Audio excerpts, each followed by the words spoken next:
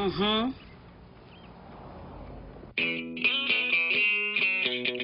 Quit Plan experts help you develop a better way to stop. Call or visit quitplan.com.